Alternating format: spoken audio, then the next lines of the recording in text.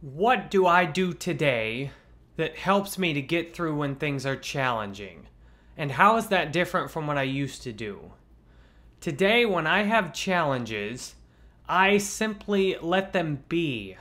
I don't change everything else in my life and I don't try and change how I feel. What I used to do was try and change how I felt all the time. So, for example, something annoying or frustrating or bad would happen, and I would try and change how I felt with something like drinking or something like playing video games or doing something like working out too hard or trying to do anything that was intentionally done to try and change how I felt. The thing is, when you try and change how you feel, it tends to make things worse, no matter how you go about doing it.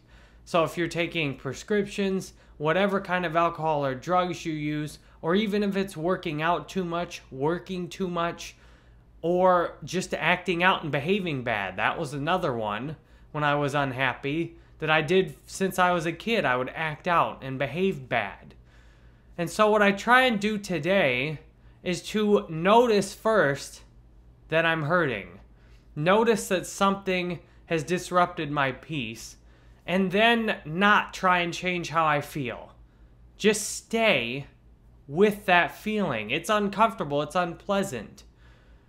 Yesterday, something happened with my Udemy courses that has got me a little bit thrown off today. And the nice thing is, I know I don't have to do anything to change how I feel. How I feel will change all on its own. And that is a great blessing because I know I don't have to do something to change how I feel. And most of the destruction in my life, at least, has happened from all of the things I did to try and change how I felt. For example, when I lived with my parents, I didn't drink while I was living at home with them, at least in their house. What I would do is act out when I didn't like how I felt. I would be mean, I would yell, I would do all these inconsiderate and rude things. I would act out when I didn't like how I felt in an effort to try and change how I felt, in an effort to try and distract myself from how I felt.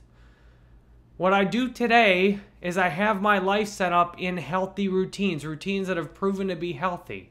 Things like getting up earlier in the morning, going to bed when I'm tired, eating first thing in the morning, having some tea in the morning, working out, doing these videos, making my Udemy courses, calling people going to my support group. I have a lot of things I do consistently that I do regardless of how I feel.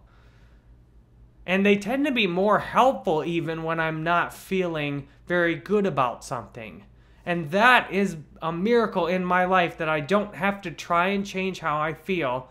I know that how I feel will change all on its own, even if I just lay in bed and don't do anything.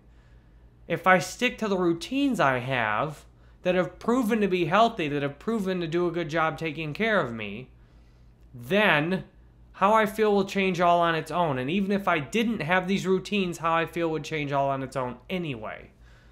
But having a life set up based on serving other people and based on taking care of myself gives me the faith that how I feel will change all on its own. And if I look back in the past, how I feel has always changed it's always changed and I didn't need to do anything about it. So today, I pray that I can encourage you and inspire you to not change how you feel next time you don't like how you feel. I pray that I don't ever have to change how I feel through some artificial means like drugs, alcohol, acting out, blaming, hurting, I pray that I can be a good person of service who accepts that sometimes I won't feel good and that that's okay. It doesn't mean the whole world is wrong, it's simply okay. So, thank you for watching this today. I'm grateful for every minute you spend watching this on YouTube or if you're listening to it on a podcast. I love to hear what you think, and I'm honored that you consistently are listening and watching this. Thank you.